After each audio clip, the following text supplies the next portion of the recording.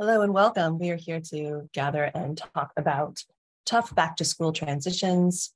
And it is no joke to be a parent in these times as we're trying to figure out what do we do with our, you know, our children as they are being depleted from all the newness of their new school year. They're trying to get into a rhythm with the new, um, you know, kind of agenda for the day, new wake up times, kind of getting back into that sort of groove that we all want to be in as we're getting back into school. And I have three top tips for back to school transitions for you today. I'm so excited. My, I'm, my name is Vanessa Callaghan. I am the, uh, the lead coach and founder of Raising Our Resilience, where we empower parents to um, bust through the myth that we have to do this on our own and we need to be perfect parents, replacing that with a much more empowering uh, perspective, which is that, of course, we need tools, of course, we need strategies. We're doing uh, something really important and tough. And there are whole training programs for other adults working with children, like you know, care providers, school teachers, to learn how to work with children. And parents deserve that same level of support. So here um, in our Monday Mindset Moment series, we get together on the Raising Our Resilience um, channel and community to empower you with some tools and tips and strategies. And we're going to dive right into this back to school transition piece. So, um, first of all, let's just acknowledge that back to school can be hard, can be tough. And it's not just tough on you, it's tough on the kids. Here are a few reasons why. Um, and I only go here because I want us to make this the most amazing school year possible. And if the only way we can make something amazing is if we can acknowledge what's hard and tough and we can strategize about how to improve those areas so that we can smooth the way to having a great time. Oftentimes we uh, skip the work. And so here we are in the work together. Um, and if you're able to uh, say hello on the Facebook group, just say hi. Um, also here on Zoom, and that way I can welcome you in and support you even better today. Let me know where you're tuning in from, ages of your kids, and what is the toughest thing about your back to school transition so I can reply to your comment and give you some personalized tips and advice. Yeah. Okay. So, how are we going to make this the most amazing year ever? Acknowledge what's hard. So, for your child, you know, maybe transitions really stood out to you because you're seeing that getting them out the door an hour earlier than you had to in the summer with more steps like packing lunch, um, you know, getting that homework folder together, getting your sports equipment together if they're doing after school things um, or other supplies. Maybe it's the transition that, you know, out the door that is the hardest thing. Um, perhaps it's that they're coming home to you exhausted and in the grumpiest mood you know i've uh, i have several clients right now who just had one-on-one sessions with me during their immersion year in my program the family foundations immersion. And we'd been talking about um, what do i do with my kids big emotions when they come through the door or i pick them up at, at the bus stop and they're losing their cool in ways that are really not constructive or productive. Um, so maybe that's what's tough for you right now be um, just just name something that you have in mind for these next three tips so that you can be working through that tough challenge as i lay them out all right?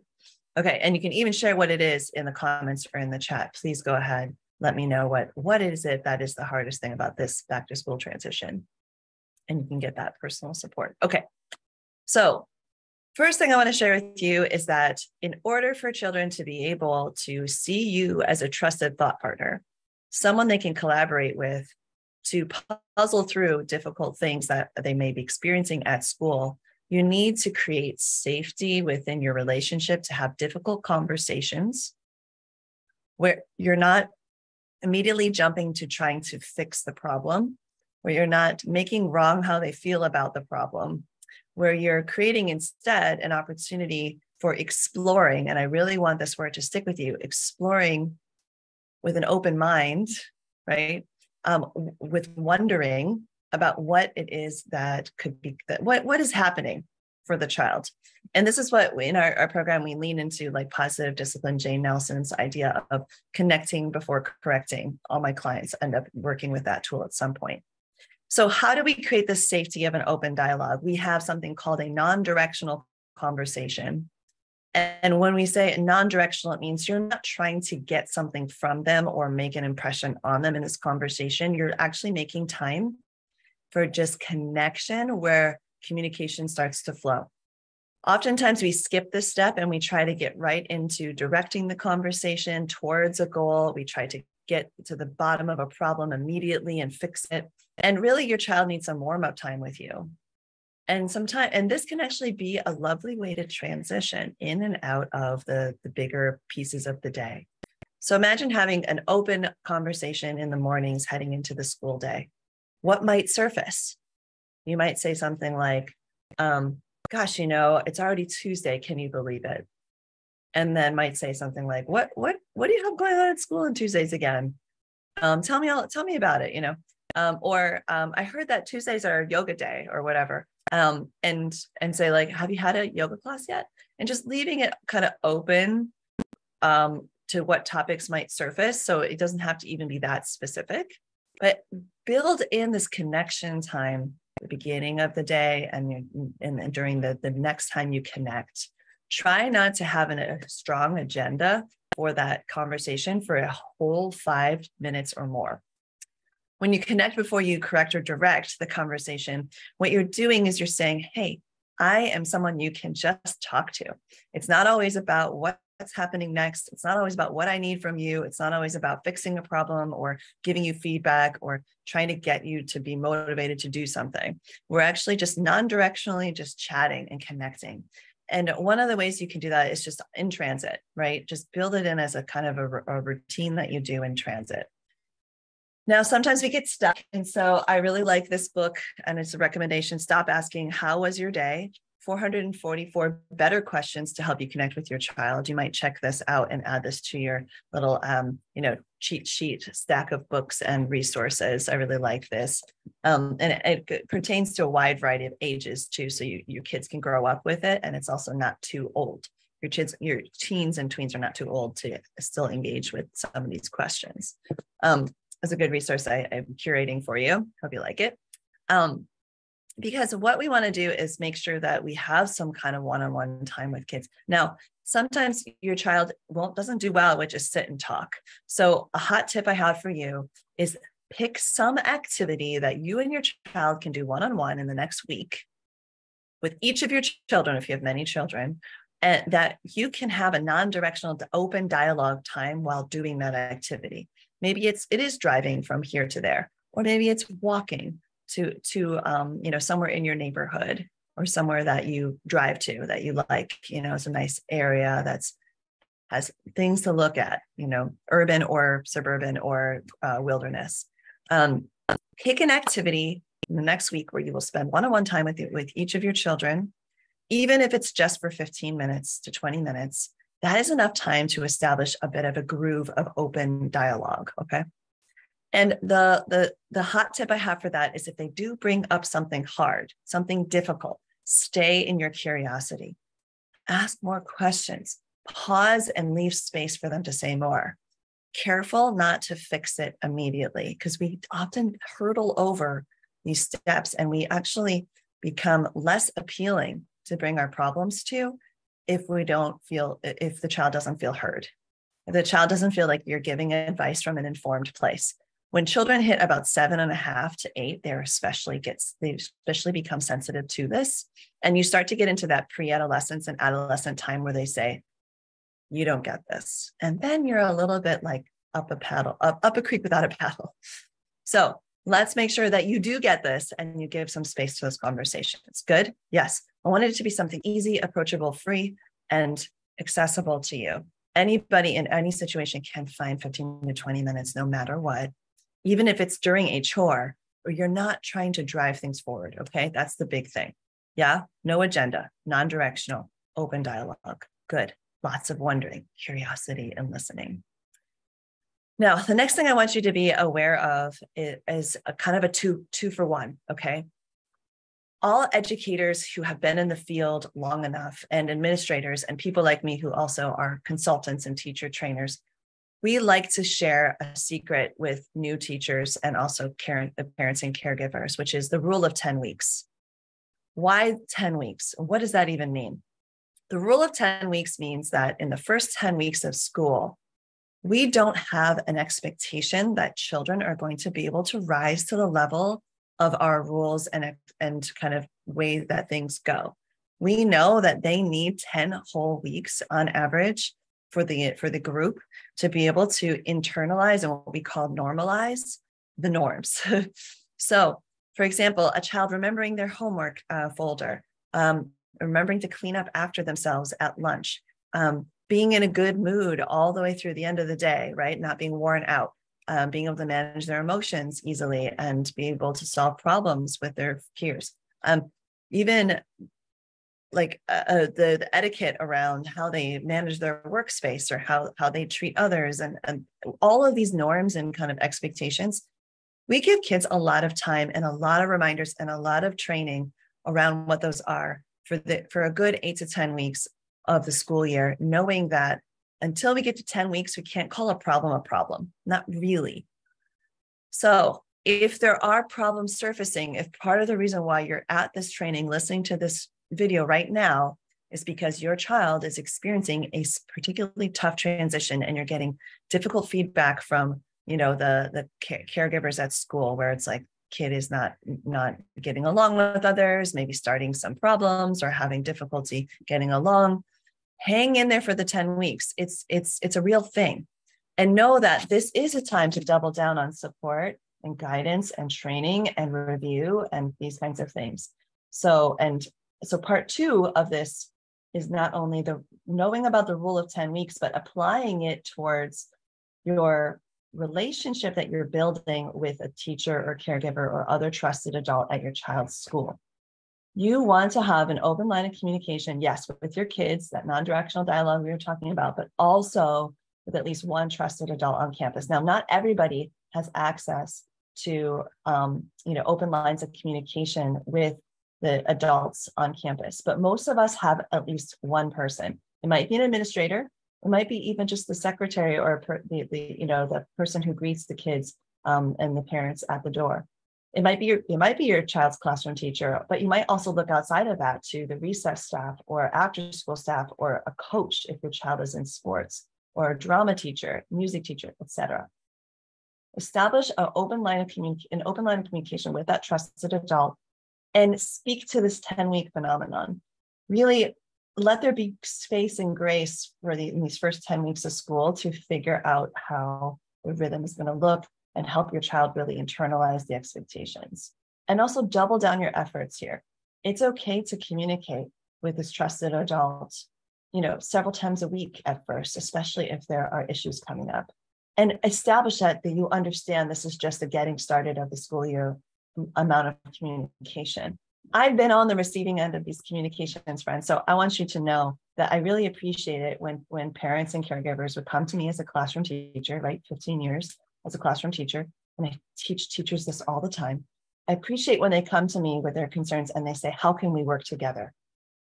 so that we can get through this transition period into school. I've heard it's 10 weeks. I mean, it's music to my ears. Oh, thank goodness you realize that you don't need to be you know, catastrophizing things if the first two weeks aren't going well and we're only in the first month of school. Um, and you know that it takes effort to really make this transition smooth and coordination. Because things you might do, like, what are we going to do at home and at school when my child tries to hit? What am I going to do at home and at school when my child continues to forget their homework folder? What are we going to do together? How can we both be a part of what's going to support my child in transitioning smoothly into the school year? Okay.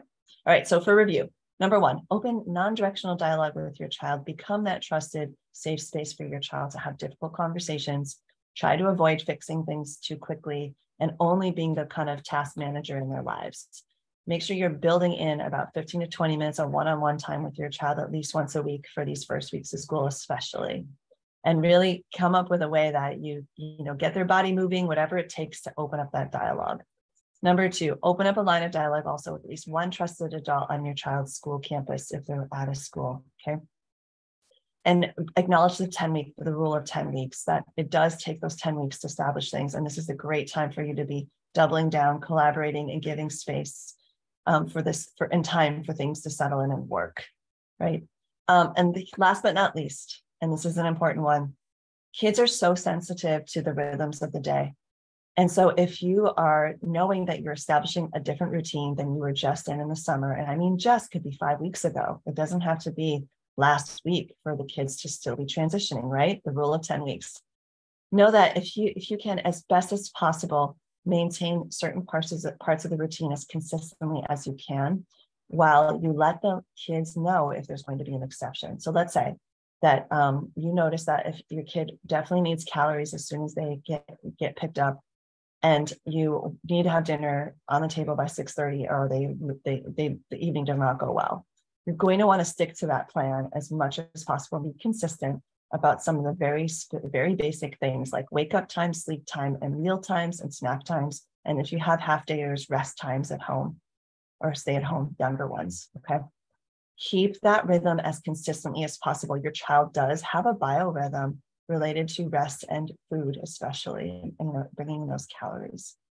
Also, you might notice that your child needs more food and more rest than, than um, they did during the summer months, um, especially in these first 10 weeks of school, as it takes a lot of energy to transition and integrate all of this newness new kids, new classroom, new, new teachers, new materials, new learning, new procedures. Um, you know, maybe there's been some turnover even in their specials classes and new new uh, rules and kind of formats. Maybe they're on a new campus, right? Imagine the last time you were in a new situation and how much it required of you.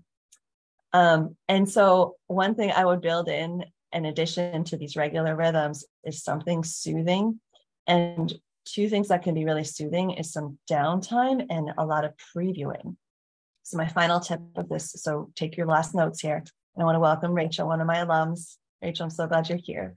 Um, build in something soothing, like some real downtime, like where the lights are out, the blinds are down, you listen to music and you look through books together, just picture books. Um, something like that. Um, maybe it is even time in a uh, you know actually laying down on a couch or on a bed and you know doing something really relaxing um, maybe it's a longer bath time than usual i had parents who would bring their kids home and put them in the bath immediately because they knew it would help them especially in the beginning of the school year when things are so intense they like they like to really help them down regulate and soothe themselves with some water that sensation of being like you know just in the warmth of it and um, having all the sensorial you know, um, stimulation of being in a bath or in a shower. And then um, the second half of that was um, this the, to preview. And the previewing part, which you can do, helps kids so much to integrate the new routine is before you move on to the next step, preview what it is. And the younger the kids are, the more often you need to do it and the closer to the actual transition to the next thing with older kids, like like uh, Rachel's daughter, you can preview the whole day, and then when you pick them up, you can read, you can re- refresh and preview the whole afternoon, and evening, and then you can have a visual for for parents who have kids six and older, especially. You can have a visual of the week that you can go over at the top of the week and really fill in what's happening, what's happening that's regular, regular after school activities, and what might be different.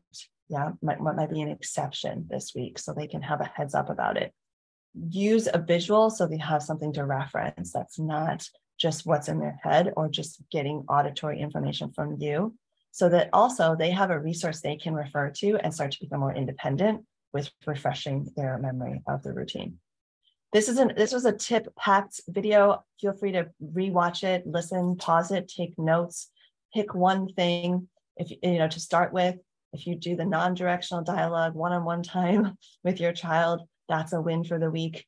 If you reach out to a parent or to, to another caregiver at the school to establish a line of communication and acknowledge the 10 weeks, that's a, that's a win. If you kind of review with other caregivers what your regular rhythm of the day is for sleep and wake time and meals, that's a win. And if you, for a bonus, if you want to build in the, um, you know, something, some kind of downtime when they get home in some part of the day, and the previewing tool. That's, yeah, extra cherries on top of this cupcake. All right. All right. I hope you have a sweet start of your year. If you are struggling, don't do it alone. Reach out. If you haven't had a parent, a parent, um, you know, strategy breakthrough session with me in at least six months, you can qualify for another one that also goes for alums, Rachel.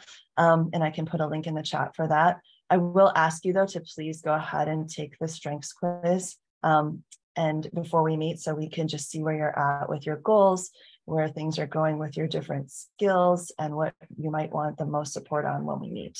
So I'm going to throw this in the chat. This is a way for you to just hop right on my calendar. I opened some just for this back to school time in September for folks who are really looking for support right now. And it's a complimentary 30 minute Zoom session where we'll walk through your quiz results and get you at least one to two or even three strategies you can try right away. It's also a way to just um, check in with you and see if there's any further steps you'd like to take around either re- renewing for mentorship and hopping into our next cohort, um, you know, getting some maintenance sessions and or um, signing up as a, a first time private or program client. So lots of options on the menu. I'm not sure what's a fit for you and no pressure to take that step. This session really is for you and we'll check in at the end to see if you want to have a further conversation. Oh, you're so welcome, Rachel. Yeah, glad that you love these tips today. Um, and lots of love to each and every one of you. May you continue to build your practice so that you become a calm, empowered parent or caregiver, raising happy, confident, resilient children. It's so worth it. And I'm so glad that you've um, had a chance to connect in and resource yourselves today. Um, it's my pleasure, my honor to serve you. And until next time, be well and we'll, we'll connect soon. Lots of love, everybody. Bye for now.